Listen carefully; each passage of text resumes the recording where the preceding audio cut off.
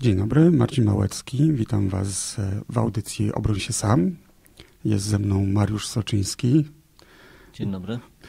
E, Mariusz, jesteś e, właścicielem i trenerem we własnej szkole Tai Chi Studio? Tak. Zgadza się. Od ilu lat uczysz Tai Chi?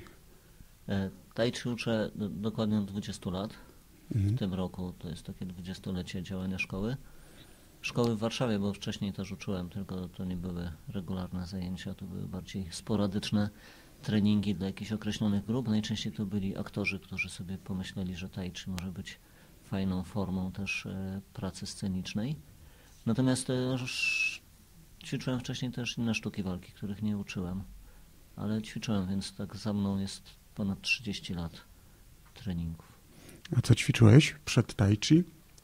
Zacząłem od karate kyokushin, bo to było wtedy jedyne, co było dostępne. Ale wydaje mi się, że dosyć dobrze zacząłem, bo to jeden z e, twardszych i bardziej realnych stylów e, walki. E, później był, no i to ćwiczyłem przez ładnych parę lat. Później był króciutki incydent z Aikido, później był krótki incydent też z Kung Fu. E, no i później zająłem się bardziej innymi formami pracy z ciałem, takimi jak yoga, no i dopiero po jakimś czasie było tai chi. Mhm. chciałbym, żebyśmy dzisiaj porozmawiali trochę o kung fu, bo e, może też trochę odkłamiemy ten taki stereotyp, jeżeli chodzi o tai chi, e, który tak naprawdę jest w swoich e, pierwotnych zamierzeniach jest e, stylem kung fu. I może byśmy porozmawiali po prostu o tym, czy tai chi jest e, skutecznym stylem. Takie pytanie na początek, jeżeli chodzi właśnie o tai chi. No bo ludziom się wydaje tak, że tai chi to jest forma, e, takie powolne ruchy, właściwie nie wymaga wysiłku. E, dla starych, dla starszych ludzi. Powiesz coś o tym? No, Jak to, jest, to od Twojej strony wygląda? To jest temat niezwykle obszerny i tutaj trzeba by wziąć pod uwagę kilka wątków. Znaczy, trzeba zdawać sobie sprawę z tego, że faktycznie tai chi powstawało paręset lat temu jako sztuka walki i przez setki lat e, w ten sposób było ćwiczone. E, I tworzyli jej wojownicy i mnisi, dwór cesarski. E, to były elity, które przede wszystkim elity społeczne, które przede wszystkim zainteresowane były skuteczną formą walki. Natomiast już wtedy, w tamtych czasach, sztuki walki troszeczkę zaczęły się różnić od sztuk wojennych tak zwanych, czyli bardzo często style i sztuki walki były trenowane, prezentowane e, nie tylko jako forma samoobrony, ale też jako forma pokazania swoich umiejętności lepszych niż umiejętności kogoś innego. Czyli pojawiła się już wtedy rywalizacja, która spowodowała, że e, te aspekty skuteczności bojowej były zacierane czy też e, stopniowo dominowane przez aspekty takiego popisywania się swoimi umiejętnościami. E, ale faktem jest, że tai chi przez e, setki lat, aż do początków praktycznie XX wieku, e, było przede wszystkim sztuką walki. To się zmieniło na przełomie XIX i XX wieku i moim zdaniem to bardzo dobrze, ponieważ my nie mamy współcześnie ani takich potrzeb jak, jak w dawnych czasach, ani też no, takiego celu, żeby ćwiczyć tylko pod kątem sztuk walki. W związku z tym metody treningowe, które e, proponuje Tai Chi, które też były modyfikowane, szczególnie tam w tym przełomie XIX i XX wieku, to o tym możemy powiedzieć za chwilę trochę więcej, e, były dopasowane do bardziej uniwersalnych potrzeb współczesnego człowieka. Mhm. E, I to zaczęło bardziej zmierzać też w kierunku takim zdrowotnym. Można by powiedzieć, że współcześnie można wyróżnić kilka takich trendów e, e, trenowania tai chi. I to się wiąże i z powodami, dla których ludzie ćwiczą, i z celem też, z, dlaczego ludzie uczą tai chi i też jak gdyby momentem, w którym gdzieś to tai chi w jakiejś grupie społecznej zaistniało. Więc pierwszy trend to jest taki bardzo tradycyjny, czyli że tai chi traktuje się w swoim treningu od początku do końca jako sztukę walki i gdzieś tam się tym mm, e, chwali, tak, że to jest e, bardzo tradycyjny sposób e, walki. Drugi taki trend jest trendem takim prozdrowotnym, co też wymaga uwagi i szacunku, ponieważ nie wiem kto, ale ktoś kiedyś powiedział jedno ciekawe zdanie, że najlepsze, co sztuki walki mogłyby zrobić dla człowieka, to poprawiać jego zdrowie. I akurat w przypadku tai chi to jest bardzo e, namacalne. Nie każda sztuka walki, która jest współcześnie ćwiczona po to, żeby poprawić kondycję, jest faktycznie jakąś zdrową formą e, pracy z ciałem, a w przypadku tai chi tak jest.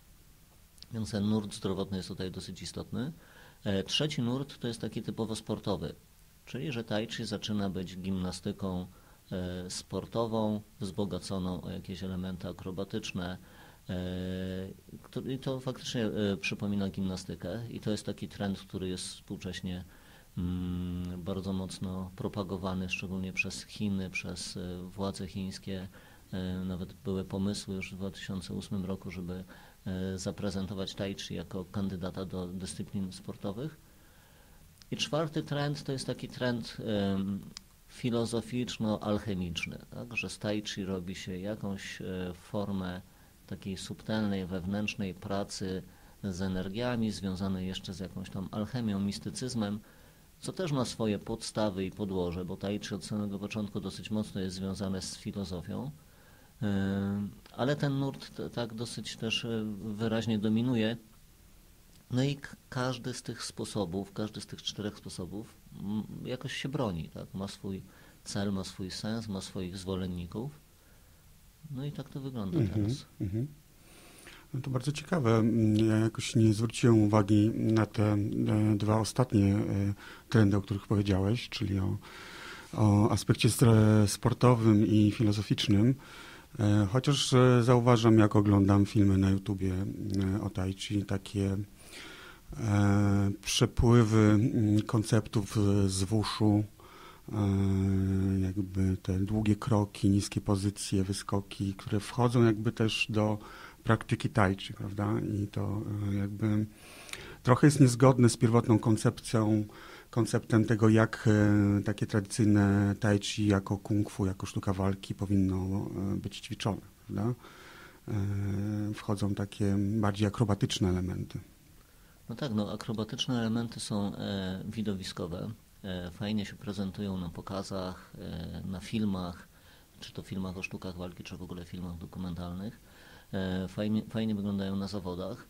E, one oczywiście mają swoje znaczenie, jeżeli chodzi o rozćwiczenie ciała, natomiast nie mają znaczenia, jeżeli chodzi o skuteczność bojową. I to jest faktycznie sport. To trzeba w 100% powiedzieć o tym, że to jest sport, który też według nawet osób, które zajmują się sportem, zajmują się wushu, bo mówimy tutaj o sportach chińskich, e, sportach walki, które noszą taką ogólną nazwę przyjętą wushu, e, że tak jak każdy sport, jest to sport bardzo kontuzyjny, który też, którego kariera E, jakby kariera zawodnicza też trwa tyle, ile w każdym innym sporcie, e, czyli dosyć krótko. E, no i wymaga też predyspozycji, rozćwiczenia i co ważne, ma zupełnie inny cel treningowy niż tradycyjne style bojowe. W tradycyjnych stylach bojowych, które noszą nazwę kung fu i te dwie nazwy tak naprawdę w XX wieku się dopiero tak rozdzieliły na kung fu jako tradycyjne, a wushu jako sportowe. W kung fu bardziej e, kładzie się nacisk na rozwój osobisty, na samodoskonalenie się, nawet pod kątem sztuk walki, ale jest to e, faktycznie samodoskonalenie i ten aspekt rywalizacji jest e, gdzieś tam na drugim planie. Dużo ważniejszy jest sam trening, sama idea treningu. Natomiast w sportach tak naprawdę podstawą jest rywalizacja. A wiadomo, że rywalizacja wiąże się z różnego rodzaju konsekwencjami. I to jest bardzo gimnastyczne, bardzo akrobatyczne. W, w, zeszłym roku mieliśmy w Polsce po raz pierwszy e, Mistrzostwa Świata tai chi całego świata, czyli przyjechali też zawodnicy z Chin i z, no, no, z wszystkich kontynentów praktycznie. I to było do, w dodatku w Pruszkowie, w jakiejś mhm. hali sportowej w Pruszkowie. Mhm. Mm, nie było to jakoś szczególnie nagłaśniane, chociaż w świecie e, sportów, e, chińskich sportów walki to jedna z ważniejszych imprez. Mm, no ale to wyglądało jak gimnastyka akrobatyczna z, ze sprzętem, tak, tak jak oglądamy niesamowicie wyćwiczonych gimnastyków, którzy wykonają różne akrobacje z użyciem piłek, maczug, e, jakichś harf i tak dalej. No to, to samo tutaj, tylko że te, te sprzęty są zastąpione szablami, mieczami, włóczniami, natomiast nawet stroje są kolorowe, pełne e, cekinów i, i, i, i są śmieszne. No. Mhm. Znaczy śmieszne w tym sensie, że śmieszne w, w, porównaniu z tradycją. Natomiast dla samych ludzi, którzy się tym zajmują, no taka jest idea tego. Mhm. Dobrze, to może przejdźmy do rozmowy na temat skuteczności tai chi, czy właśnie e, tai chi jako kung fu. E, dla osób, które interesują się sztukami walki, a w szczególności, które, które się interesują właśnie tai chi jako kung fu, pewnie takim dość istotnym, nazwijmy to wydarzeniem ostatniego czasu była e, taka walka próbna mm, zawodnika MMA w Chinach z mistrzem tai chi, ten mistrz się nazywał Wei Lei. Został e, jakby wyzwany przez tego e, zawodnika MMA, który przechwalał się, że właśnie, że tai chi jest nieskuteczne e, e, i jakby prowokował e, mistrzów tai chi w Chinach i to wyzwanie zostało przyjęte. Walka trwała 10 sekund. Nagranie zostało wrzucone do internetu, miliony odsłon. Wyglądało to żenująco i tragicznie i dla każdego, kto w jakiś sposób inwestuje, inwestuje swoje zasoby w e, naukę tańcz, kung fu właśnie, tai chi jako kung fu i sztukę walki. E, no pewnie było to mm, przykre i też mogło wzbudzić jakieś wątpliwości.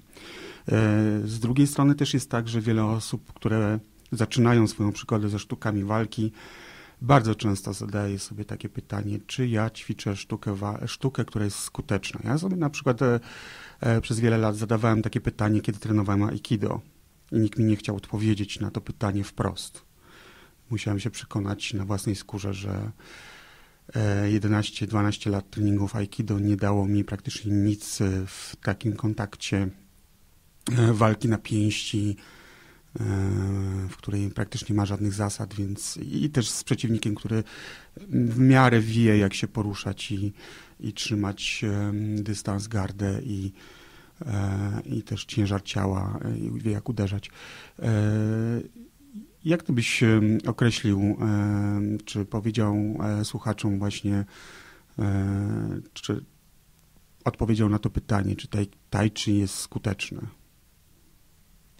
Mm, wiesz co, to jest taki wątek, który towarzyszy praktycznie od samego początku e, powstania sztuk walki, tak? która sztuka walki jest skuteczna, e, której metody treningowe są lepsze, e, co warto ćwiczyć i tak dalej. Te spory trwają do tej pory i to są spory, które są tak naprawdę czymś no, w pewnym sensie śmiesznym i wynikającym z zupełnego jak gdyby mm, złego spojrzenia na na sam temat, dlatego że nie wygrywają style i nie wygrywają sztuki walki, tylko wygrywa człowiek. Tak? To jest pierwsza rzecz. Druga rzecz, bez względu na to, jaki styl się ćwiczy, jeżeli nie ćwiczy się walki samej w sobie, to nawet jeżeli to nazwiemy ćwiczeniem sztuki walki, e, to e, czym innym jest ćwiczenie metod, które sztuka walki proponuje, żeby rozćwiczyć swoje zdrowie, poprawić kondycję, e, znaczy rozćwiczyć swoje ciało, tak? poprawić kondycję, uzyskać jakąś sprawność, nauczyć się jakiejś choreografii, bawić się tym, co e,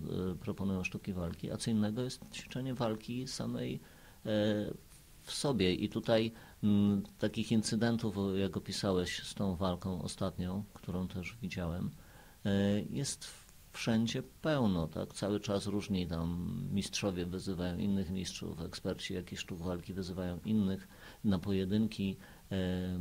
Przez całą historię sztuk walki zawsze można przeczytać, że ten mistrz tego stylu wygrywał wszystkie pojedynki z mistrzami innego stylu. Tak? I, i to jest wszędzie i to jest takie czysto marketingowe, które czemuś tam miało służyć. Tak? Miało służyć temu, żeby kogoś umniejszyć, kogoś wywyższyć. E, to samo było tutaj. Ta cała historia e, z tą walką tego mistrza MMA z, z jakimś tam ekspertem tai chi e, też ma swoich bardzo wiele wątków. Została sprowokowana E, to wszystko było po to, żeby z jakiegoś tam powodu coś ośmieszyć. Zresztą ten człowiek, który wygrał tą walkę, sam się później do tego przyznał, że w czasie 10 sekund zmarnował swoją e, karierę i reputację, nawet samym faktem, że wy, wygrał, ale że zrobił to nie fair, tak? bo, bo mm, e, samo to zagranie, sama prowokacja, cały PR wokół tego był po prostu nie w porządku. Więc, A w jakim sensie był nie w porządku? No, w takim sensie, że oni doskonale wiedzieli, że grają na zupełnie innych zasadach, tak? że ćwiczą zupełnie inne rzeczy i porównywanie pewnych sytuacji, pewnych systemów, pewnych stylów akurat w taki sposób, w takiej formule, z założenia e, wiadomo, że to jest tak, jakbyśmy chcieli umniejszyć z całej tradycji. Wiadomo, że tradycja ma mnóstwo innych wątków, a nie tylko sam wątek bojowy, więc było tutaj zestawienie współczesności z tradycją na bazie tylko jednego elementu, czyli tego, kto komu szybciej dokopie. Tak? Mhm.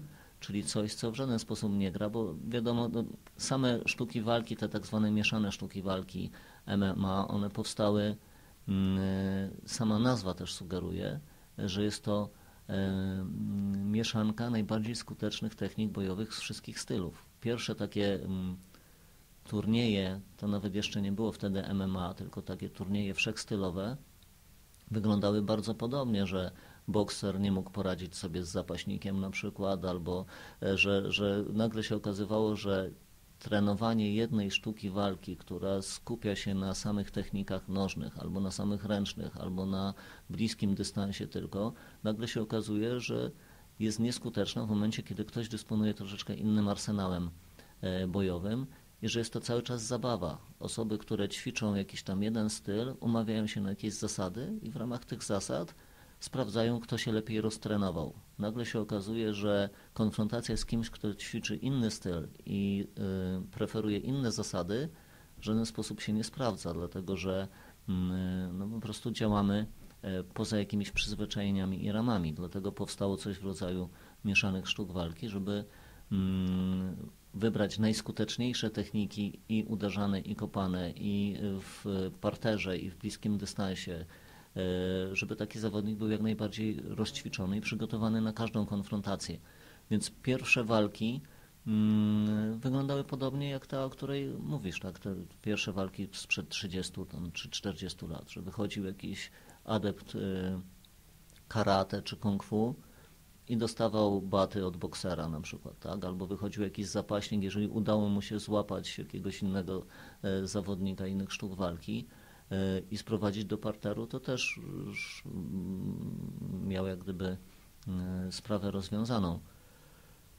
E, więc e, może zacznę od tego, znaczy skończę na tym, na czym zacząłem, czyli że wygrywa człowiek. Tak? I, człowiek, I to człowiek, który trenuje sztuki walki, czy też walkę w oparciu o jakiś tam styl. Gdybyśmy spojrzeli teraz na takie zawody mieszanych sztuk walki, często w opisie mamy, że stylem rodowym takiego adepta jest na przykład karate, a stylem rodowym tego adepta jest judo. Gdybyśmy nie mieli tego opisu i byśmy zobaczyli walkę tych dwóch osób, nie bylibyśmy się w stanie zorientować, który ćwiczył karate, a który ćwiczył judo, ponieważ każdy z nich musi być przygotowany bardzo wszechstronnie.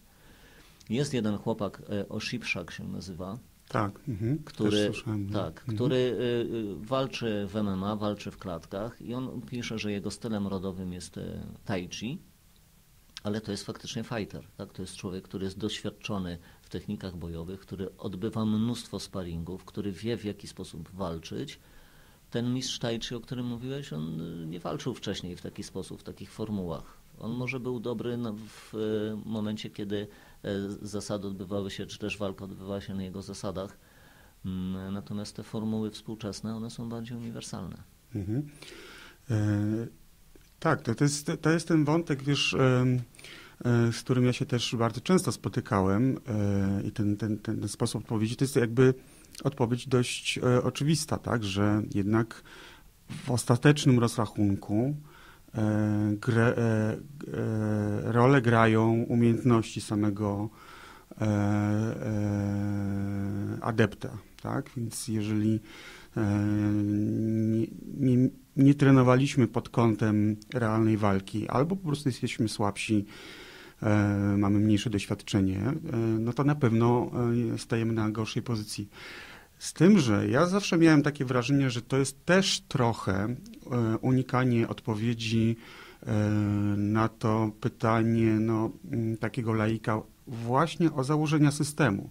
E, ja tutaj mam jakieś swoje przemyślenia na temat Aikido na przykład, tak? Czyli ja e, wiele lat ćwiczymy Aikido i tak jak właśnie, jak ci zadawałem to pytanie, to często słyszałem właśnie taką odpowiedź, że to e, bardziej zależy od umiejętności osoby. I muszę powiedzieć, że zderzyłem się z tą rzeczywistością, tak? kiedy zacząłem sobie chodzić na sanda, na otwartą walkę. Um, założyliśmy rękawice, kaski, no rękawice oczywiście chwytne um, i w jakiś taki swobodny sposób e, e, były jakby częścią treningu były sparingi. Muszę powiedzieć, że dla mnie szokiem było nie tyle to, że e, jakby moje umiejętności na przykład nie, były, e, nie byłem w stanie ich wykorzystać, bo ktoś był ode mnie lepszy, ile to, że przez e, x treningów, wiele sparingów nie udało mi się na przykład zastosować żadnej, żadnego konceptu tak naprawdę z Aikido. Żadnego. Żadnego zejścia, żadnego chwytu, żadnej dźwigni. Natomiast, co ciekawe, co interesujące było dla mnie w tamtym momencie, Wtedy ćwiczyłem może ze 2-3 lata tai chi, około 3 lat. Koncepty wzięte z tai chi dobrze się sprawdzały i były nawet dość e, szokujące dla e, tych e, przeciwników, tych partnerów w sparingu. Taki koncept na przykład, jaki jest w tai chi, który, e, o którym mówimy, e, który nazywamy jednoczesnością, czyli jednoczesny blok z atakiem. Tak? To jest technika, która występuje w, praktycznie w każdej formie tai chi, czyli na przykład omycenie kolana i odepchnięcie. Prawda? Jeżeli jesteś w stanie jak wyczuć moment ataku i zastosować, to jest jakby bardzo zaskakujące dla osób, które przyzwyczaiły się do takiego tradycyjnego reagowania, gdzie musi być jednak na dwa takty to wykonane, prawda? Przez uniki blok i atak, albo blok i atak. E, czy ty masz jakieś takie swoje przemyślenia? Albo na przykład e, widzisz jakieś koncepty w tajczy, które twoim zdaniem są właśnie ciekawe, skuteczne i mogłyby tutaj grać rolę? To mamy tutaj e, kilka wątków. Tak? Mhm. Pierwszy wątek nadal nawiązuje do tego, że to nie styl, tylko człowiek, ale to nawet nie chodzi o to, że E, człowiek dobrze wyćwiczony w danym stylu, bo nagle się okazuje, że te style tradycyjne, one przez ostatnie dziesiątki albo setki lat zostały tak skostniałe w swoich metodach, że nawet jeżeli jesteś ekspertem w danym stylu, jesteś w nim bardzo dobry, to nagle się okazuje, że wcale to nie znaczy, że jesteś skuteczny w walce. Jesteś po prostu lepszy, e, lepiej wyćwiczony e, w dany sposób i to jest trochę tak, jakby ktoś, kto robi salta, porównywał się z kimś, kto jeździ na nartach. Tak? Jeden mhm. mówi, zobacz, ja potrafię tak, a drugi mówi, zobacz, ja potrafię tak, a ty tak nie potrafisz. E, więc to jest takie porównywanie, które mm, w żaden sposób się nijak nie ma do rzeczywistości, jeżeli chodzi o skuteczność bojową, czyli żeby być dobrym wojownikiem, żeby być dobrym fighterem, trzeba po prostu ćwiczyć walkę, w której można wykorzystywać jakieś koncepcje, które mają zaskoczyć przeciwnika z danego stylu. Ja, ja na przykład uważam tak, że jeżeli ktoś ćwiczy tai chi, on wcale nie będzie, to wcale nie znaczy, że będzie potrafił dobrze walczyć, ale jeżeli ktoś walczy i do swojej walki doda koncepcję z tai chi, to może się okazać, że jego skuteczność się poprawi. Czyli trzeba na to spojrzeć jak gdyby z innej strony. Tak? Mhm. Że nie samo tai chi, tylko walka jest tutaj tym głównym elementem, a tai chi może przynieść bardzo wiele um, skutecznych metod. Jeżeli ktoś na przykład przychodzi do mnie i, i mówi, że słyszał, że tai chi jest sztuką walki i czy on tutaj się będzie mógł nauczyć sztuki walki, to ja mówię, że jeżeli chcesz się nauczyć sztuki walki, to zapisz się lepiej na coś co od razu cięcie tej walki uczyło, tak? co skupia się tylko na tym, bo tutaj jak gdyby celem naszego treningu jest zupełnie coś innego i to samo moi mistrzowie, tak, ja miałem bardzo wielu nauczycieli z tai chi i może z tych dziesięciu, których miałem, tylko jeden faktycznie walczył. Reszta to byli po prostu ekspertami od, e, nie od walki, tylko od sztuki walki. E, no, mam nadzieję, że jak gdyby rozumiemy tą, tą różnicę. I oni sami też mówili o, o tym, że ich celem treningu jest dbanie o siebie, a nie trenowanie pod kątem tego, żeby komuś kiedyś e, przyłożyć, bo szkoda na to i czasu, i zdrowia, mm, i wysiłku. No, wkładamy jednak w trening mnóstwo czasu. I teraz, jeżeli naszą motywacją główną będzie walka i wygrywanie i porównywanie siebie, to znaczy, że coś z naszą psychiką jest nie tak, albo ona jest nastawiona z założenia na, na takie rzeczy, albo gdzieś tam się pogubiliśmy. Tak? Tego typu metody treningowe mają mnóstwo y, dużo ciekawszych wartości. Chociaż efektem, fajnym efektem ubocznym może być e, pewność siebie, E, też umiejętność jakiegoś tam e, zachowania się w sytuacjach zagrożenia, albo nawet siła do tego, żeby w odpowiedni sposób uciec tak, przed, przed zagrożeniem. Więc znów podsumowując, jeżeli ktoś ćwiczy jakąś tradycyjną sztukę walki, wcale nie oznacza, że będzie dobrym wojownikiem i, mm, no i to należy to traktować jakoś troszeczkę ściemę albo propagandę. Tak? Mhm. Natomiast jeżeli ktoś ćwiczy walkę i wzbogaca to o jakieś tam metody y, związane z tradycyjnymi przekazami, może się okazać, że będzie zaskakująco bardziej skuteczny. A czy y, Tai Chi ma lepsze koncepcje niż Aikido czy inna sztuka walki? No nie wiem, tutaj trzeba by już spytać właśnie tych e, ekspertów od mieszanych sztuk walki, którzy e, zaczęli zbierać te najciekawsze rozwiązania i je stosować. E, czy jakieś elementy z Aikido się tam sprawdzają? Pewnie tak. tak? Akurat w przypadku Tai Chi może bardziej dlatego, że Tai Chi ma więcej, tak jak, tak jak mówiłeś, takich to jednak był styl, który kształtował się na polu bitwy to, i to nie ma co ukrywać, tak faktycznie było, więc tam jest dużo i kopnięć, i uderzeń, i odepchnięć, czyli takich praktycznych rzeczy, których w innych stylach na przykład nie ma, tak? Same odepchnięcia, takie odrzucania przeciwnika. Nie mówię tutaj o powalaniu takim jak w judo czy w zapasach, ale samo odrzucanie jest dosyć ciekawą mm, metodą. No i chyba tyle. Mhm. To może popolemizujmy trochę, ok? Mam takie skojarzenie, jak ty mówisz, o, o, o tych e, właśnie mistrzach. Dwa właściwie skojarzenia. Jedno to takie, że rzeczywiście w wielu szkołach e, trening tai chi nie idzie w kierunku stricte nauki walki i ten trening się też e, zatrzymuje e, na przykład w, ja uczyłem się u, u, w takiej szkole, gdzie jednak on się zatrzymywał e, w, na poziomie tuiszą, czyli takiego przepychania po prostu, prawda? Czyli mm, jeszcze brakuje kilku kroków, prawda, żeby to traktować jako naukę walki. Z drugiej strony Taki master, mm, który tutaj też przez jakiś czas uczył, e, on się nazywał Liu Peng.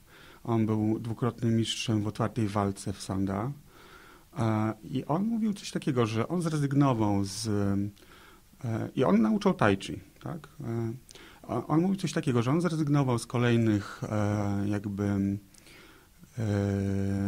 no, prób czy, czy kolejnych zawodów, bo to, to były coroczne zawody, dlatego że zaczęło go irytować to, że, że w tej jakby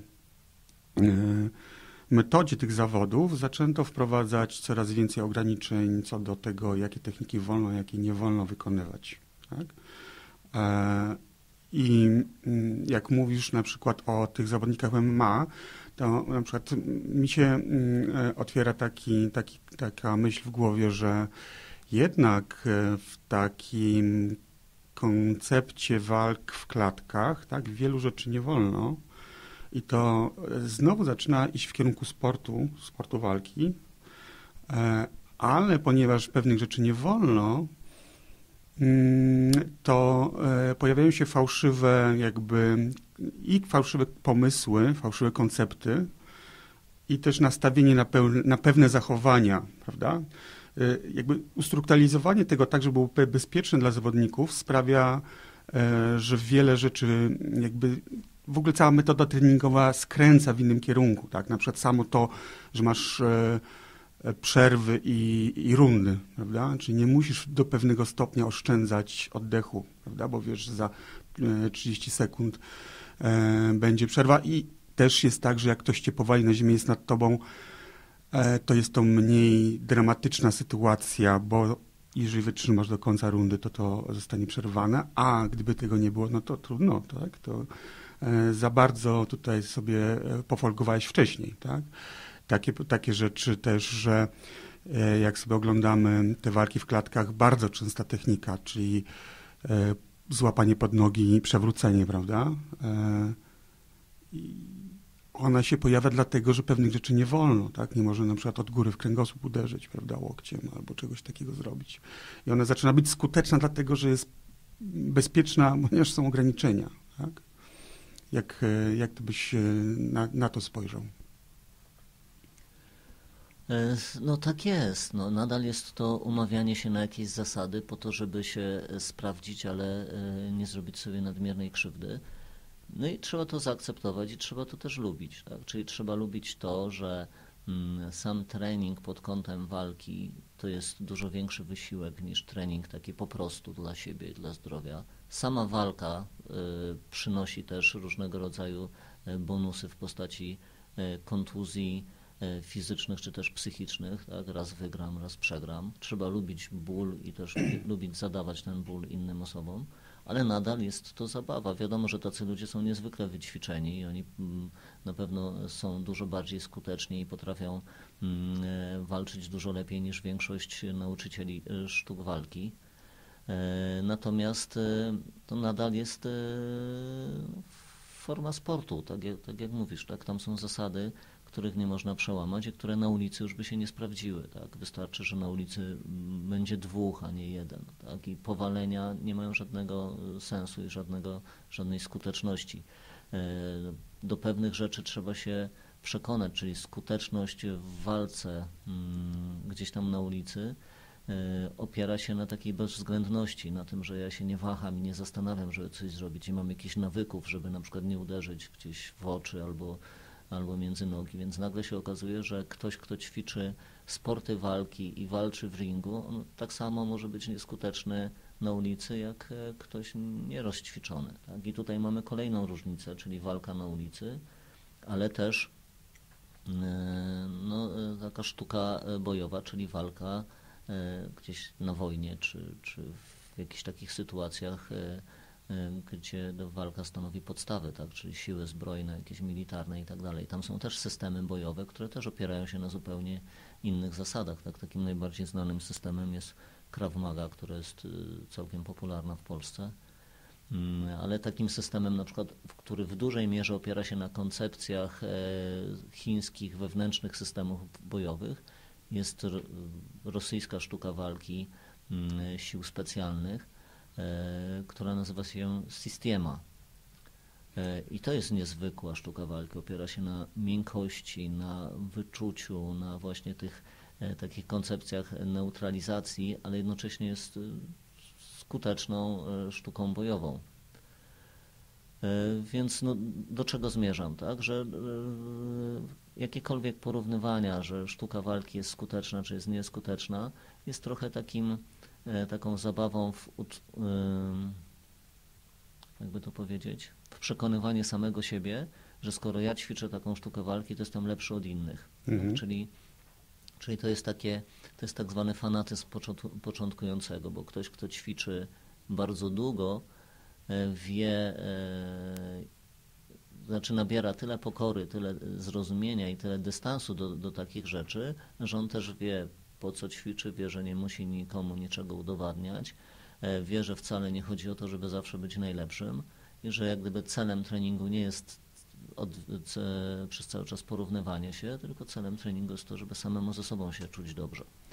Znam... to wiesz, to przepraszam ci przerwę, to, to się chyba pojawia w ogóle w, w większości e, trenujących, prawda, że po pewnym czasie ćwiczenia pojawia się ta pokora i znika taka e, tak, e, no element w pewnym sensie agresji, tak? E, czy stajemy się bardziej, może przez to, że bardziej pewni siebie, to też stajemy się bardziej no mniej agresywni też na zewnątrz, prawda? Bardziej ostrożni i tacy pokorni. Ale to też zależy od tego, y, tak, jak, jak najbardziej masz rację, tylko zależy od, to również od tego, w jaki sposób traktujemy same sztuki walki, ponieważ sztuki walki, yy, łącznie z tai chi, to jest narzędzie.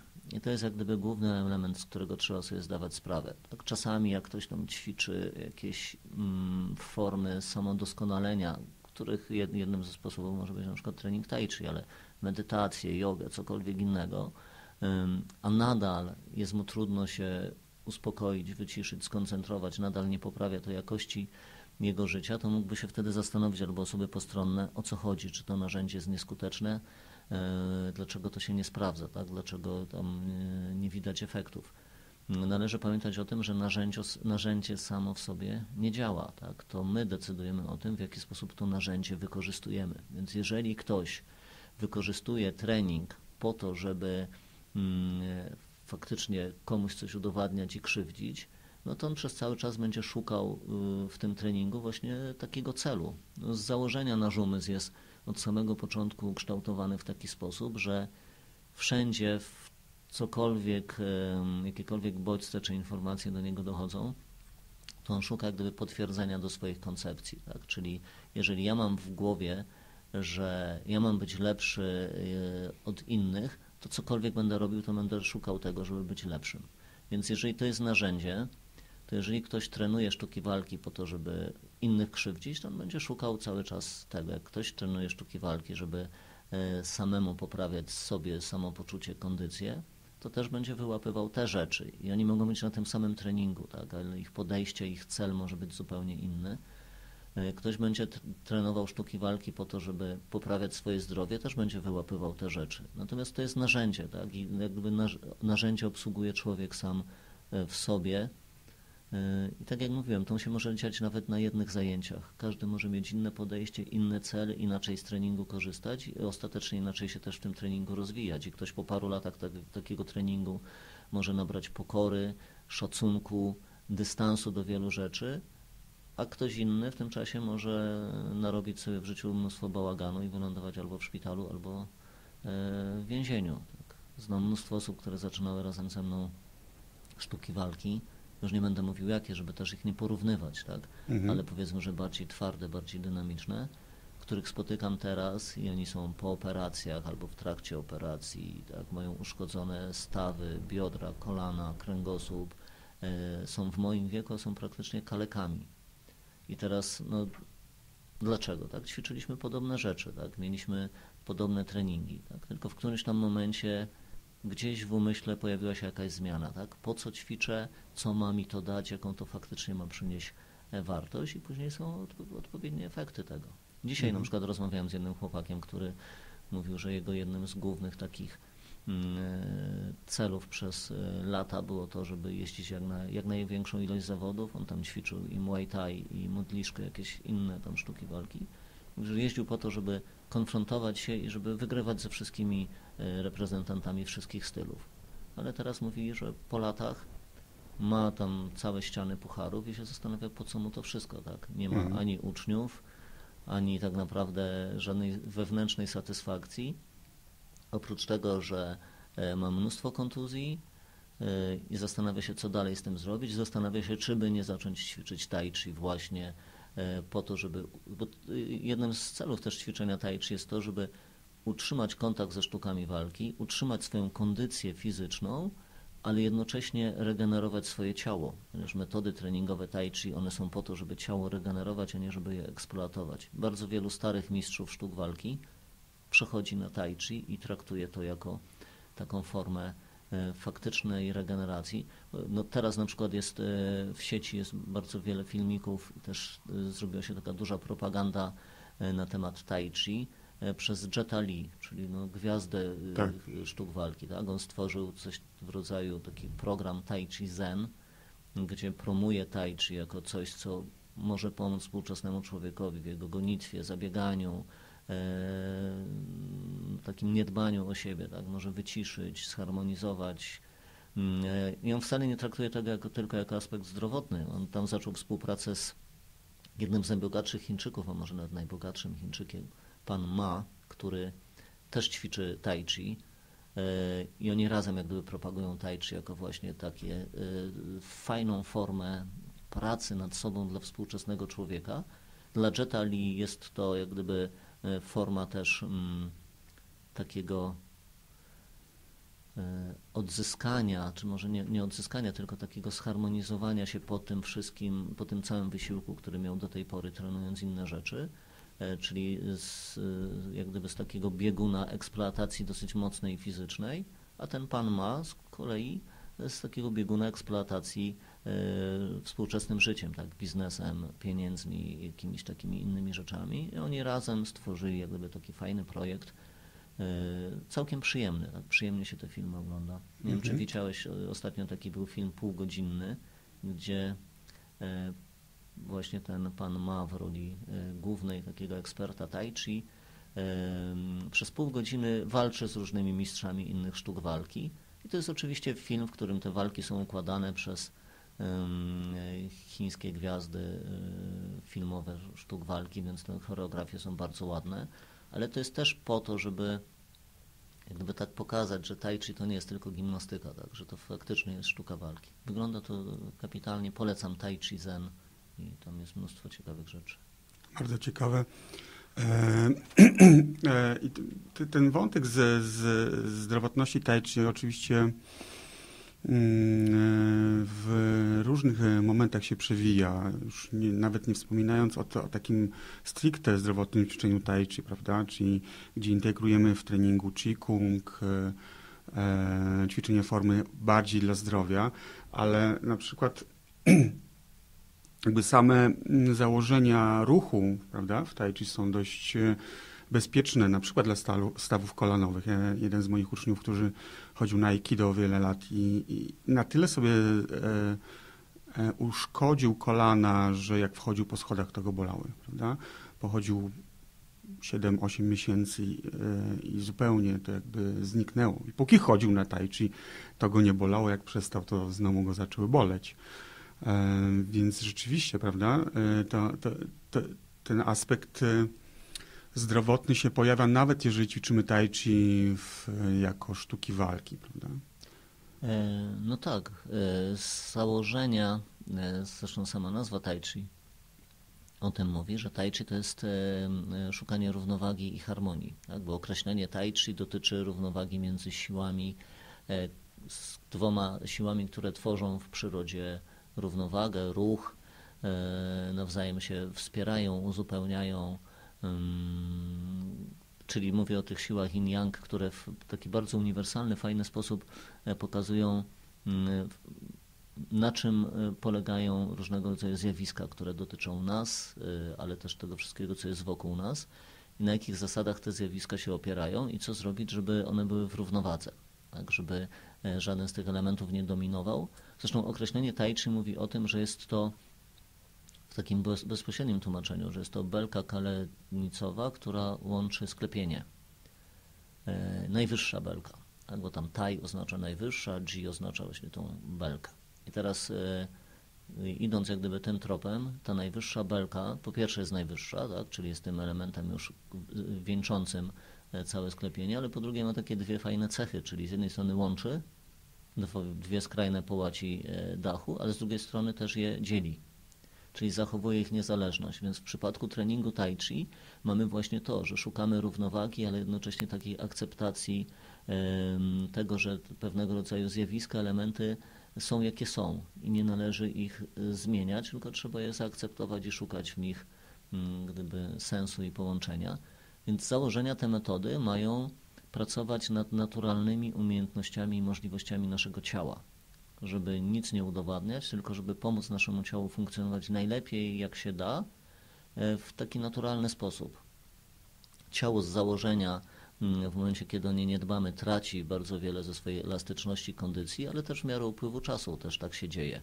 Czyli pod wpływem czasu, starości i też braku treningów a z drugiej strony y, my jesteśmy mentalnie nastawieni na to, że potrzebujemy efektów, więc większość systemów sportowych czy ruchowych pracuje w drugą stronę, chce nam dostarczyć jak najszybciej e, wymiernych efektów w postaci tego, że jestem sprawny, e, silny i tak dalej. W przypadku tai chi to jest bardzo subtelne i tak jak mówiłeś, e, jak się ćwiczy, nie czuć bólu, to znaczy, że to nie znaczy, że on w czasie treningów tai chi robi szpagaty. Tak? On po prostu funkcjonuje naturalnie. E, ale funkcjonowanie naturalne jest dla nas mylące, bo my nie odbieramy tego jako skrajność, tylko jako naturalną rzecz, którą doceniamy dopiero w momencie, kiedy ją stracimy. Dlatego tai chi e, działa tak subtelnie, że na co dzień jest to prawie że nieodczuwalne, dopiero jak mamy jakąś skalę porównawczą, to nagle się okazuje, że jesteśmy dużo bardziej sprawni od naszych rówieśników, albo jesteśmy dużo bardziej sprawni od nas samych, jakbyśmy nie ćwiczyli. Powiem e, Ci taką dyrektyjkę a propos właśnie tej nadmiernej sprawności, nawet le lekarze się w tym mylą, bo jedna z moich koleżanek z Tai Chi e, x lat temu, jak jeszcze uczyłem się swojego nauczyciela, e, wróciła od lekarza nie pamiętam teraz jakiej specjalizacji, ale e, on jej jakoś tam zbadał szyję i powiedział, że ma pani nadruchomość stawów e, i nad, nadruchomość e, odcinka szyjnego. Ona po prostu ćwiczyła tai chi i no, jednym z jakby z podstawowych momentów rozgrzewce tai chi tak jest jakby rozluźnianie e, karku, szyi i kręcenie głową i ten lekarz w ogóle jakby samo użycie takiego konceptu, prawda? nadruchomość odcinka szyjnego. Prawda? Tak, bo dla niego to mogło być niespotykane, tak? Bo o co chodzi w treningu tai chi? Chodzi o to, że zapewniamy swojemu ciału e, w sposób łagodny, bo głównym jak gdyby elementem jest kontrola, świadomość i łagodność, zapewniamy takie zakresy ruchu, których nasze ciało nie ma na co dzień.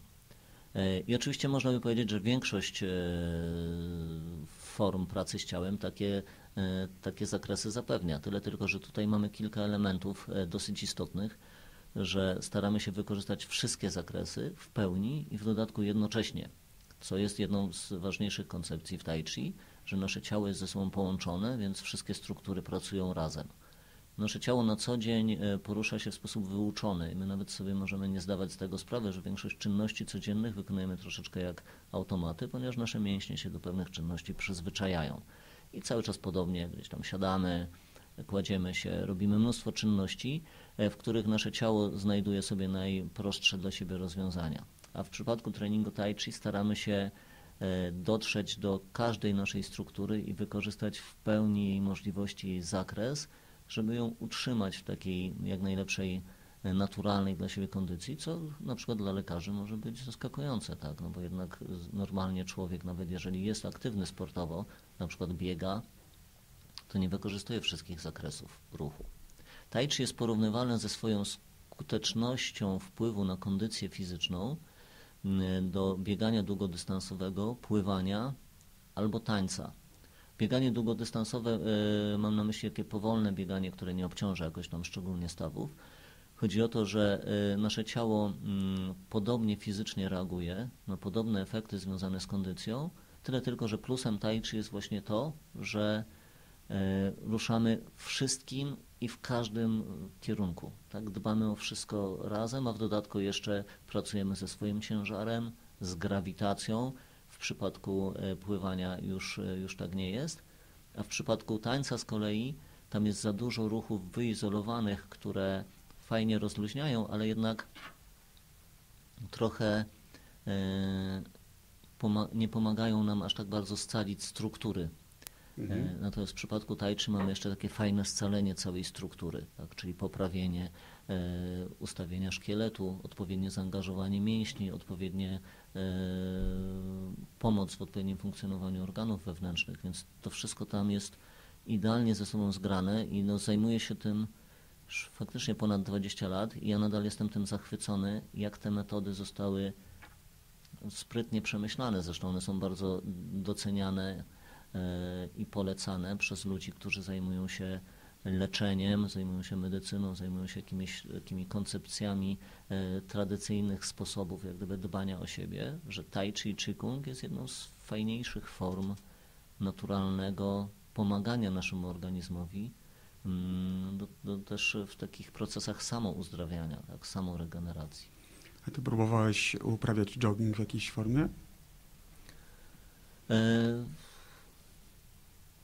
ja osobiście nie lubię takich, e, takich rzeczy. Oczywiście w, w ramach e, treningów, wcześniej jak ćwiczyłem karate, czy biegałem dosyć dużo. Miałem nawet jakieś swoje osiągnięcia w czasach liceów, że tam wygrałem jakiś bieg na 400 metrów, czy tam jakieś takie w jakichś tam zawodach międzyszkolnych.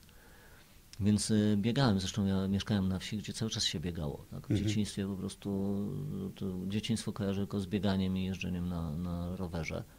Natomiast y, w miarę upływu czasu ja zobaczyłem, że gdyby wysiłek, który miałem też na treningach i jakichś tam innych, nie leży w zgodzie z moją naturą i ja też to zaakceptowałem. Tak? Ja nie lubię takiego wysiłku, źle na to reaguję, męczy mnie to jakoś tak, mm, nie czuję się w tym komfortowo.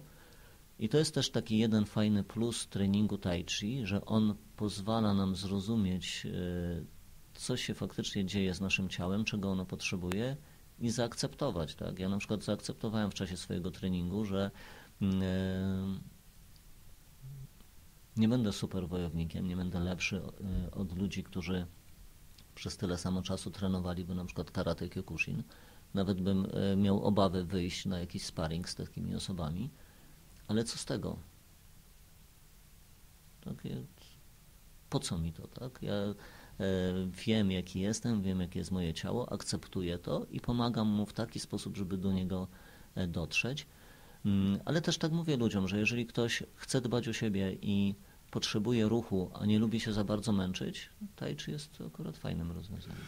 Wiesz, zapytałem o to bieganie e, ze względu na to właśnie, co mówisz a propos jakości wpływu ćwiczenia tai chi na ogólny taki ogólny rozwój e, ciała, prawda, na ogólną wytrzymałość i taką, taką kondycję, prawda. E, ja nigdy nie biegałem ze względu na to, że jestem astmatykiem i po prostu jak mam przez większość roku moje płuce nie funkcjonują tak, żeby można sobie swobodnie pobiegać, ale któregoś momentu Mm, e, postanowiłem spróbować. E, akurat e, też już nie, nie wnikając w takie rzeczy osobiste, no ale akurat z płucami było lepiej. Co było dla mnie za, zaskoczeniem, to to, że no, wyobraźmy sobie osobę, która nie ćwiczy, tak, albo ćwiczy jakiś jogę na przykład, tak, mój kolega ćwiczy jogę i jak oni zaczynają biegać, to jednak to jest dokładnie tak, jak w książkach jest opisane, te pierwsze dwa, trzy kilometry przez x czasu to jest po prostu potworny wysiłek, tak, nie dają rady, mięśnie po prostu nie wyrabiają. A zaskakujące w moim dość osobistym doświadczeniu było to, że właściwie y, dla ciała, dla mięśni głównie, tak, nie było dla mnie żadnego znaczenia, czy pobiegnę 5 czy 15 kilometrów. Okay? No byleby to nie było szybko, no bo to ograniczenie płucne, że tak powiem. Tak? Więc e, to, co mówisz właśnie, tak? to, to, że tai chi, no sobie ćwiczymy, tak, okej, okay, jakoś nad tym pracujemy, mamy, jakąś, mamy jakąś, jakiś swój cel, jakąś filozofię i nie zauważamy tego, w jakiej kondycji E, utrzymujemy swoje ciało. Tak? Dopiero potem, w momencie, kiedy zderzymy się z jakąś, e, e, z jakąś sytuacją, choćby na przykład z pomysłem, że spróbować biegania, nagle się okazuje, że my jesteśmy w ogóle na innym poziomie, prawda, niż osoby. No, może nie, nie warto się porównywać z niećwiczącymi, tak, ale ćwiczącymi inne rzeczy. I tak, i to jak najbardziej potwierdzam. Ja po prostu nie mam e, e, czasu, ani też potrzeby, żeby się zajmować innymi aktywnościami. E, z drugiej strony ja faktycznie e, ja prowadzę teraz 30 e, treningów tygodniowo z tai chi, gdzie mamy i rozciąganie i jakieś ćwiczenia wzmacniające. No oczywiście ja nie ćwiczę przez cały czas, ale nawet jeżeli na każdym treningu ćwiczę sobie po 10-15 minut z ludźmi, to jestem jedyne o czym marzę tak w czasie wolnym, to żeby odpocząć, żeby się tak, nie ruszać. Tak, tak. Bo tego ruchu jest za dużo, ciało musi się też regenerować, bo inaczej zacznie się spalać samo. Więc u mnie jak gdyby to podejście jest dosyć ekstremalne. W jedną stronę. Tak? Natomiast ludzie, którzy, których znasz też, którzy tam ćwiczyli, czy ćwiczą u mnie w szkole, czy też ze mną współpracowali, oni mieli podobne doświadczenia jak ty, czyli jeden chłopak bez żadnego przygotowania poszedł na E, na maraton, e, taki e, jakiś tam krótki, tak, 10 kilometrów, ale przebiegł sobie bez żadnego wysiłku, czując, że jego ciało po prostu sobie daje radę, bo też to wszystko się opierało na świadomości ciała. Na tym, że, że czujesz całe ciało, wiesz jak nim pracować, wiesz jak nim poruszać, żeby się nie eksploatowało. Jedna dziewczyna z mojej grupy, takiej najstarszej, też bez przygotowywania się, bez biegania, bierze udział dwa, trzy razy w sezonie w pełnym maratonie. Teraz była w Portugalii tak, i przebiegła też cały maraton. I ona nie biega na co dzień, ona po prostu ćwiczy. Tak? Tak. Ćwiczy sobie tam u mnie na zajęciach trzy razy w tygodniu. I ona mówi też dokładnie to samo, co ty zauważyłeś, tak? że jednak trenując, my nie mamy jakichś takich um, skrajnych doznań, bo też w tajczy nie chodzi o skrajne doznania, ale nasze ciało się faktycznie e, zmienia. E, też doceniają to ludzie, którzy jeżdżą regularnie na nartach albo mają jakiekolwiek inne swoje takie ulubione aktywności sportowe, na przykład sezonowe i mogą się z sezonu na sezon porównać, tak, po jakimś tam czasie. Nagle się okazuje, że faktycznie mają silniejsze nogi, mają większą wytrzymałość, e, wolniej się męczą, także te efekty są. I to jest, to, i to jest dużo ważniejsze w tai chi niż to, czy uda mi się komuś dołożyć, czy nie. Czyli od e, takiego pytania laika o e, skuteczność założeń e, tai chi jako kung fu i porównywania z innymi stylami przeszliśmy do mimo wszystko aspektów zdrowotnych i wytrzymałościowych. E, będziemy kończyć naszą dzisiejszą rozmowę, ale mam nadzieję, że się dasz zaprosić na rozmowę może nie tyle porównawczą, ile rozmowę po prostu o, o jako kung fu, co jest tam w tym ciekawego i jakie są tam koncepty, które Ciebie interesują. A, to jest bardzo, bardzo szeroki temat, tak? I ja na koniec jak najbardziej chciałem i podkreślić, docenić tai chi jako sztukę walki e, i docenić też wszystkie inne sztuki walki, tak? Ja y, jestem, ja czasami już e, tak nawet nie mam siły, nie biorę udziału w takich jakichś mm, konfrontacjach, dyskusjach, e, forach, gdzie adepci różnych sztuk walki E, tam się wyzywają, porównują, oceniają i tak mm, bo to jest, e, no, to jest zupełnie nielogiczne. Tak? Każda sztuka walki się obroniła w którymś momencie. Tak? Chociażby e, czas, czy też test czasu ją obronił, to, że ona przetrzymała, że się utrzymała i że spotykała się z odbiorem Mm, przez setki lat e, takim pozytywnym, że ludzie chcieli to ćwiczyć, to już świadczyło o tym, że ona była skuteczna. To, co się stało współcześnie, mm, e, to się wiąże też z czasami, w jakich żyjemy, tak? z inną strategią samej walki, z tym, jak inaczej wyglądają wojny, jakie są inne potrzeby współczesnego człowieka i sposób życia i tak dalej. I tutaj no, trzeba do, docenić z jednej strony to, co mogą nam dać sztuki walki, a z drugiej strony też zrozumieć e, te, te minusy tego wszystkiego i, i mm, no, tą taką, powiedzmy, że mm, skostniałość troszeczkę w swojej tradycji. Także współczesne metody treningowe związane z walką mogą być dużo skuteczniejsze dla współczesnego człowieka niż te tradycyjne, które powstawały 500, 600, 700 lat temu. Kiedy osoby początkujące mogą przyjść do Ciebie na zajęcia? No, e, można by powiedzieć, że w każdej chwili, ale nie jest to takie proste, dlatego że e, mm, cykl treningowy, też program treningowy musi mieć jakiś swój cykl, żeby się też dobrze w tym czuć komfortowo, więc ja przyjmuję e, do grup początkujących dwa razy w sezonie, e, wrzesień, październik i luty, marzec przyjmuję przez miesiąc, półtora, żeby faktycznie mieć taki komfort rozpoczęcia w odpowiedni sposób. Jeżeli ktoś się zgłosi troszkę później, no to wtedy proszę, żeby poczekał na następne e, zapisy. No tak, to wygląda. Czyli co, wpisujemy Tai Chi Studio w Google, tak?